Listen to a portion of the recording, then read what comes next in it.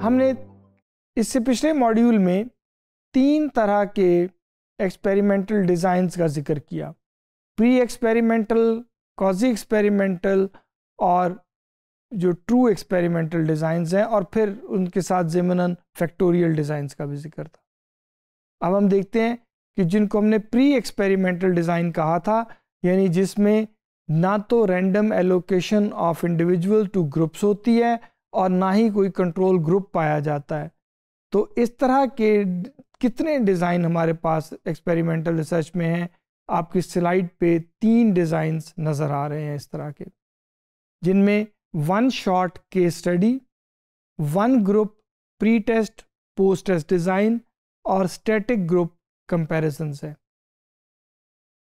एक सवाल जो अमूमन जेन में आता है कि अगर हमारे पास ट्रू एक्सपेरिमेंटल डिज़ाइंस हैं और हम समझते हैं कि वो सबसे बेहतर होते हैं तो फिर हमें क्या ज़रूरत है प्री एक्सपेरिमेंटल डिज़ाइंस की या कॉजी एक्सपेरिमेंटल डिज़ाइंस की?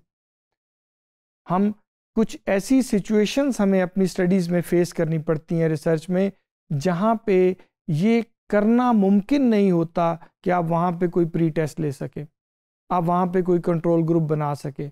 ऐसी सिचुएशन होती है, जहाँ पे हमें उस सिचुएशन में रिसर्च करते वक्त ये ऑप्शन नहीं होती कि हम एक्सपेरिमेंटल ग्रुप के लोगों की रैंडम असाइनमेंट कर सकें। पॉसिबल ही नहीं होता।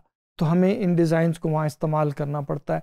अगर हमें इन डिज़ाइन के साथ मौजूद लिमिटेशंस का पता होगा तो हम अपनी रिज़ल्ट्स की इंटरप्रटेशन और डिज़ाइन के इस्तेमाल के वक्त जो ख़राबियाँ पैदा होंगी, उनको हैंडल करने की बेहतर पोजीशन में होंगे। वैसे इसमें आप देखिए वन शॉट केस स्टडी है। इसके अंदर ना तो कोई प्री टेस्ट लिया जाता है, एक सिंगल ग्रुप होता है और उस सिंगल ग्रुप का आप सिर्फ़ पोस्ट टेस्ट ले सकते हैं। यानी इंटरवेंशन हो चुकी हुई है, जो चेंज आनी थी आ चुकी हुई है। अब आप इंटरवेंशन से पहले का मैयर नहीं ले सके इंटरवेंशन के बाद आप एक मैयर ले लेते हैं, जिसको पोस्ट टेस्ट कहते हैं। और ना ही आप इसके अंदर कोई कंट्रोल ग्रुप बना सके थे, ताकि आप जितनी चेंज आपकी इंटरवेंशन के नतीजे में पोस्ट टेस्ट में नज़र आ रही है आप उसको एट्रीब्यूट कर सकें कि ये सारी चेंज इस इंटरवेंशन की वजह से है। ऐसा सर्टन करने के लिए कंट्रोल ग्रुप चाहिए था, वो भी हम इसमें नहीं बना सके हुए। तो ऐसी सिचुएशन जहाँ आप किसी ऐसे मामले में फंस जाएँ तो ये बड़ा वीक सा डिज़ाइन है, लेकिन एट टाइम्स इसका इस्तेमाल करना पड़ सकता है। इस तरह one group pre test post test design इसमें सिर्फ़ लफ्ज़ वन ग्रुप है जो इसको प्री एक्सपेरिमेंटल बनाता है। यानी इसके अंदर आपने एक ग्रुप सिलेक्ट किया, उस ग्रुप को कोई ट्रीटमेंट दी ट्रीटमेंट देने से पहले उनका प्री टेस्ट भी लिया ट्रीटमेंट देने के बाद पोस्ट टेस्ट भी लिया। लेकिन आपने कोई कंट्रोल ग्रुप इसमें नहीं बनाया। तो अब आप जो इंटरवेंशन के बाद प्री टेस्ट और पोस्ट टेस्ट के स्कोर्स में फ़र्क आया है, आप ये क्लेम करना चाहते हैं कि ये मेरी इंटरवेंशन की वजह से आया है। लेकिन उस दौरान में कुछ भी और हो सकता था जो आपके आउटकम को बदल देता। अलावा आपकी इंटरवेंशन के कुछ भी और ऐसा हो गया हो। तो आपके पास कोई तरीका नहीं है ये साबित करने का कि ये जो चेंज आप आउटकम में चेंज आई है, ये सारी की सारी आपकी इंटरवेंशन का नतीजा है और इसमें कोई और चीज़ शामिल नहीं है। ये इस डिज़ाइन की वीकनेस है। लेकिन इसमें सिंपल एक बात यह कंट्रोल ग्रुप नहीं है। प्री टेस्ट हो गया पोस्ट टेस्ट भी हो गया। और random assignment of individuals to group भी नहीं हुआ।